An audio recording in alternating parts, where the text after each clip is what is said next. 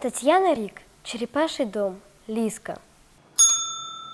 Лиска, потому что на лису похожа. Это была дворняжка, рыженькая, небольшая, с острым носиком и хитрющая.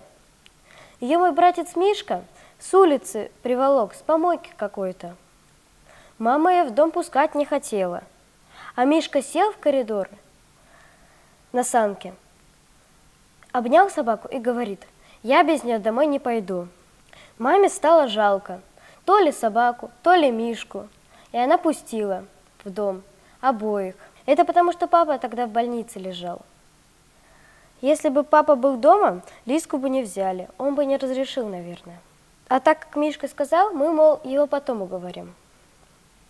Так и получилось. Лиску пустили только в коридор. Мама сказала, вот еще, чтоб какую-то дворняжку в дом пускать. А еще по улицам, чтобы она бродила. У нас вообще никогда ни собак, ни кошек не было. Бабушка считала это не гигиенично. Но Лиска мамино благородство оценила, что ее вообще пустили с мороза, в дом взяли, еще кормят. Она сидела и всем своим видом говорила, спасибо, спасибо, спасибо, и вам, добрый человек, тоже спасибо, и вам, я все понимаю, место мое здесь. Я туточки посижу в уголочке. Мне здесь вполне нормально. Я много места не займу. Не тревожьтесь. Спасибо, спасибо. Поселилась она под стулом. Если было холодно под стулом, залезала на стул. Дети стали приносить ей с школы котлеты, если кто-то в столовой не доел.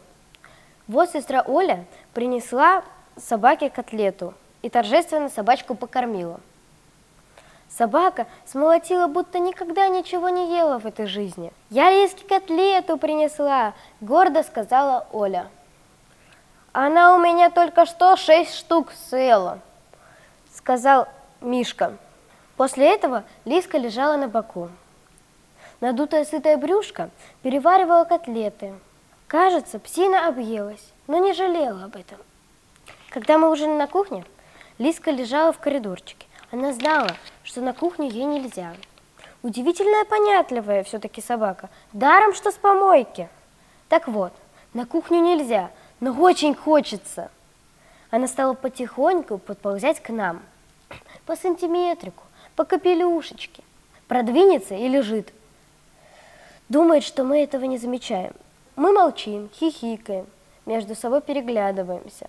Вот продвинется на полтора метра, но тут мама ей строго так скажет. Это что еще такое? И Лиска раз-раз отползет назад, в коридорчик. А потом снова по сантиметрику, по крошечке к нам подбирается. Мама опять, это что такое? И снова Лиска послушно, виновата, ходит в коридор. Слов мы ее не баловали, и она слушалась. Но однажды она проштрафилась. Случилось это так. Оля купила десяток яиц. А в это время как раз были перебои.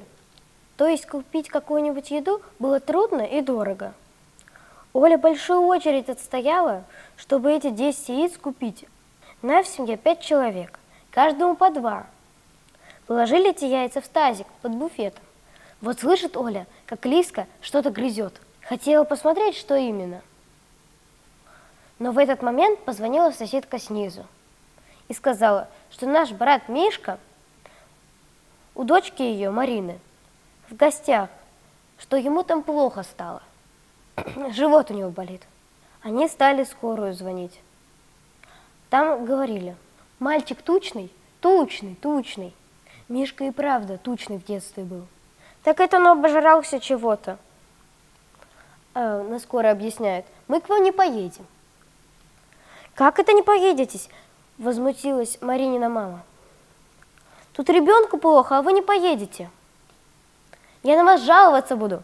«Ладно, поедем». Неохотно согласились скорые. После этого Маринина мама позвонила нам и вызвала Олю. Оля ушла, а собака осталась что-то грызть. А грызла она те самые яйца.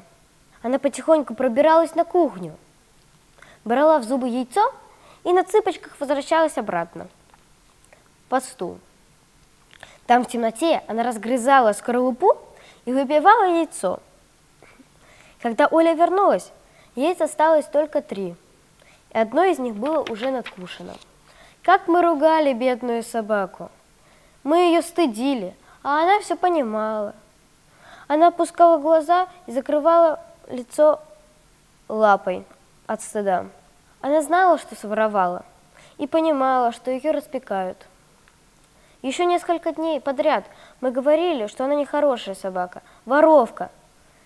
А она, бедняга, отворачивалась и закрывалась лапой.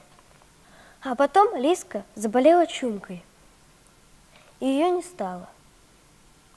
Не хочу об этом писать, только знаю, что она наверняка живет в собачьем раю. Я уверена, что есть рай собачий, кошачий, пугайский, черепаший. И даже для бабочек есть. И для старых игрушек. Я верю, что все, что мы потеряли, там и живет. А иначе было бы слишком больно.